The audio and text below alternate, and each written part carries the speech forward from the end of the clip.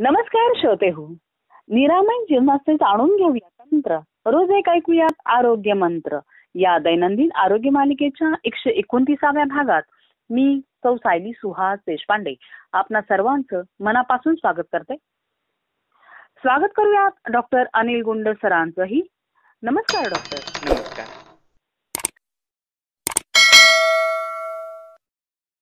Doctor तुम्ही अगदीच ठरवलंय की गृहिणीला डॉक्टर करायचंय. आणि त्याच अनुषंगानं आपण बोलतो आहोत. म्हणजे पहिल्यांदा आपण स्वयंपाकघर बघितलं जवळपास सगळे मसाले झालेत आपले स्वयंपाकघरातले. आणि त्यानंतर आपण परत एकदम हॉलमध्ये आलो थोडक्यात असं म्हणायला हरकत नाही. आणि तिथे जो पानाचा डबा असतो त्यातले घटक विडा याबद्दल सगळी माहिती दिली. तर आता जरा थोडस बाहेर जाऊयात का परस बागेकडे? नक्कीच. कारण की जनरली जी घरातली स्त्री आहे गृहिणी आहे असो किंवा म्हणजे नोकरी करणारी असे ना का प्रत्येकांना थोडंसं रमायला आवडतं परस बागेमध्ये. बरोबर. अ, विविध म्हणजे कुंड्या असतात. जर आता ही संस्कृती फ्लॅटची आहे म्हणा किंवा जागेअभावी म्हणा ती कुंड्यात तरी ती आपली परसबाग करतेच बरोबर. जुन्या काळात प्रत्येकांच्या म्हणजे वाडे असायचे. वाड्या वाड्यांमध्ये म्हणजे एक परसबाग असायची दाराच्या समोर वृंदावन असायचं तुळशीचं. आणि ह्या सगळ्या गोष्टी तशा लोप पावत चालल्यात कारण की जागा जागा कमी म्हणा. किंवा मग छोटी छोटी घरं झालीत विभक्त कुटुंब पद्धती झालीत त्यामुळे म्हणा. पण मग आपण प्रत्येक जण जपतोच आहोत ना की ह्या सगळ्या गोष्टींना. की आपण थोडं थोडं जे सांगितले संस्कृती संस्कार आपले जपतोय तर तसंच प्रत्येकाच्या दारात तुळस असते. बरोबर. कुंडीत का होईना ती लावलेली असते तिने. तर आज आपण तिथपासनं सुरुवात करूयात. कारण की आपल्याकडे तुळशीला खूप महत्त्व आहे. तर मग त्याला मग त्या तुळशीचे काय गुणधर्म आहेत औषधी? तर ते आज जाणून घेऊयात का? नक्कीच. आता ही जी तुळस आहे आपल्याला ह्या सगळ्या वनस्पती वृक्ष वेली भरपूर प्रमाणात प्राणवायू देत असतात. परंतु. प्राणवायू देणाऱ्या वनस्पतीमध्ये तुळशीचा खूप अग्रक्रम लागतो. आणि म्हणूनच. मला असं वाटतं आपल्या पूर्वजांनी तुळशीची जी काही जागा आहे ती आपल्या वृंदावनात किंवा आपल्या घराच्या समोरची केली असावी. ही तुळस जी आहे हिच्यात दोन प्रकार आहेत. तसे तुळशीचे पाच प्रकार आहेत परंतु आपल्याला मुख्यतः दोन प्रकार कृष्ण तुळस आणि श्वेत तुळस. याच्यामध्ये. कृष्ण तुळस जी आहे ही प्रामुख्याने औषधात आपण वापरत असतो. आता. औषधात वापर करताना का त्याच्या मागचा हेतू काय आहे? तर ही तुळस जी आहे ही जसं सुरुवातीला सांगितलं की प्राणवायू देणाऱ्या वनस्पतीमध्ये हिचा अग्रक्रम लागतो. तसंच शरीरातला कफ कमी करणारी वनस्पती म्हणून खूप श्रेष्ठ आहे. म्हणजे ज्यांना ताप येतो आणि शरीरामध्ये कफ वाढलेला आहे अशा व्यक्तींनी जर तुळशीचा रस घेतला चमचाभर तर तो कफ. किंवा ताप जो आहे तो कमी व्हायला लागतो. त्याच्यानंतर. बऱ्याच जणांना उचकी लागत असते. शरीरातला कफ वाढतोय आणि उचकी लागते. अशा व्यक्तींनी. तुळशीचा रस आणि मध एकत्र करून घेतलं चाटण की उचकी कमी होते. बऱ्याच जणांना भूक लागत नाही. अशा व्यक्तींनी तुळशीचा रस आणि खडीसाखर असं एकत्र करून घेतलं की भूक लागायला लागते. कधी कधी पोटदुखी होत असते. अशा वेळेस तुळशीचा रस लिंबाचा रस एकत्र करून चाटण घेतलं की पोटदुखी कमी व्हायला लागते. अरे. दम्याचे पेशंट असतात खूप सारे. दम्याचा त्रास अगदी. होत असतो अशा व्यक्तींनी हम्म. तुळशीचा रस खडीसाखर एकत्र करून घेतलं चाटण की हळूहळू दम्याचा हम्म. त्रास कमी व्हायला लागतो हम्म. बऱ्याच जणांना घाम येत नाही अशा व्यक्तींनी तुळस आणि मिरे यांचा काढा एकत्र करून घेतला की हळूहळू घाम यायला लागतो हम्म. बऱ्याच जणांना खोकला येतो पण कफ सुटतच नाही अशा हम्म. वेळेस तुळस खडीसाखर एकत्र करून दिवसभर चार पाच वेळेस घेतला तर हा जो कफ आहे तो व्यवस्थित सुटायला लागतो हम्म. डॉक्टर म्हणजे. आताच्या काळात तर हे खूपच गुणकारी औषध आहे. सध्या तर आपण एवढ्या मोठ्या संकटाला सामोरं जात आहोत. हे तर अगदी प्रत्येकानं रोज आवर्जून करायलाच हवं. नक्कीच नक्कीच. आता यामध्ये असं आहे की दररोज ज्यावेळेस आपल्याला करायचे ना त्यावेळेस. जर नियमितपणे तुळशीचं एक पान आपण जर खाल्लं तर त्यामुळं आपल्या शरीरातला अतिरिक्त चिकटा जो आहे तो कमी होतो. रक्तातला अतिरिक्त चिकटपणा कमी व्हायला मदत होते. आणि. आपली प्रतिकार शक्ती उत्तम राहायला देखील मदत होते.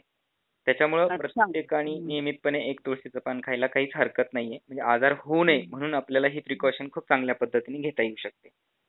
अर्थात फक्त ही एकच हे नाहीये तर वेगवेगळ्या गोष्टी आहेत जसं लवकर उठणं लवकर झोपणं हे आपण कन्सिडर करतोय बरोबर. आपण दैनंदिनचर्या जी सांगितली आहे त्यानुसार वागूनच हा, सगळं. केलं तर त्याचा चांगला परिणाम दिसेल. नक्कीच नक्कीच. आता बऱ्याच वेळेस खोकला येतो. आपण जसं सुरुवातीला सांगितलं की खोकला येतो पण कफ सुटत नाही. अशा वेळेस खोकून खोकून छाती दुखत असते पेशंटची अशा वेळेस. तुळशीच्या पानांचं पोटीस आपण जर केलं छातीला शेकलं तर त्याने वेदना ज्या आहेत छातीच्या त्या कमी व्हायला मदत होते.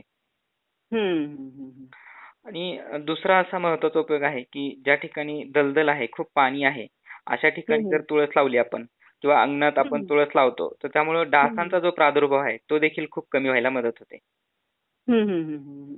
आणि डॉक्टर असं मला विचारायचं होतं की तुळस ही कुठल्या म्हणजे रोग त्याचं महत्वाचं आहे की मोठं झाल्यावर त्याला जास्ती महत्त्व येतं कारण की जनरली आपण असं म्हणतो ना परिपक्व झाल्यानंतर.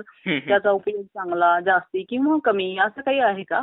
नक्कीच नक्कीच तुळशीला मंजिरी येण्याच्या अगोदर तुळशीमध्ये खूप जास्त प्रमाणात औषधी गुणधर्म असतात त्याच्यामुळं. मंजिरी येण्याच्या अगोदर जे काही हे आहे तुळस ती जर आपण. औषधात वापरली तर त्याला आपल्या त्याचा आपल्याला खूप चांगला परिणाम दिसतो मग आता म्हणजे अशा वेळेस छोटी छोटी रोपं महत्वाची थोडक्यात. बरोबर बरोबर. आणि मग आपण. दुसरं असं करू शकतो की बाबा मंजिरी आल्या की त्या तोडून टाकायच्या. त्यामुळे त्याचे अगदी, जे अगदी, औषधी. गुणधर्म आहेत ते त्याच्या पानात उतरतात. दुसरं असं की ज्यावेळेस तुम्ही प्रत्येक वेळेस मंजिरी तोडून टाकता त्यावेळेस तुळशीचं झाड डेरेदार देखील होतं हम्म, हम्म, हम्म, हम्म. अच्छा. म्हणूनच ते लागत असेल ना. आपण म्हणतो ना की आपण वाहायला वगैरे मंजिरी. तुळशीची घेत होतो देवाला. म्हणजे या खूप महत्त्वाच्या गोष्टी होत्या ना आपल्या संस्कृतीमध्ये. की तुळस हा म्हणजे ते खोडण्यासाठी म्हणा थोडक्यात ती काढून टाकण्यासाठी. आणि मग तिचा गुणधर्म वाढावा म्हणून असेल.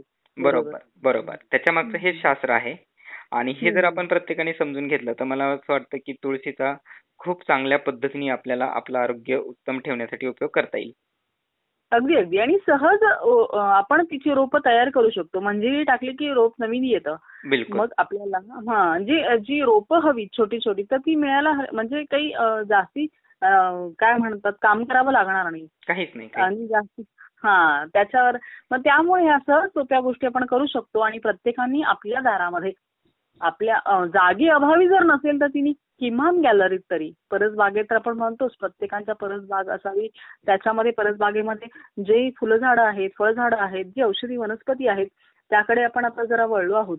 आणि आपण आज तुळस ही औषधी वनस्पती बघितली तर प्रत्येकानं ती ते झाड दारा आपल्या कुंडीमध्ये का होईना पण लावावं हाच आपला आजच्या या भागातला संदेश. नक्कीच.